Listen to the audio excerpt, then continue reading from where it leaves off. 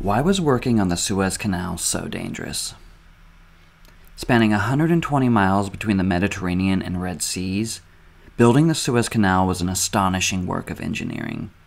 However, this great feat came at a cost.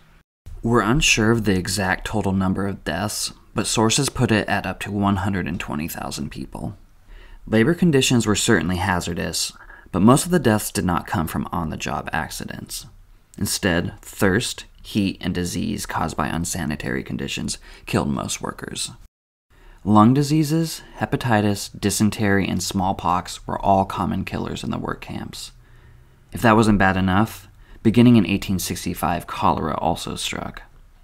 So many people died that many bodies rotted where they lay, as not enough laborers could be found to bury them. Why was working on the Suez Canal so dangerous? Spanning 120 miles between the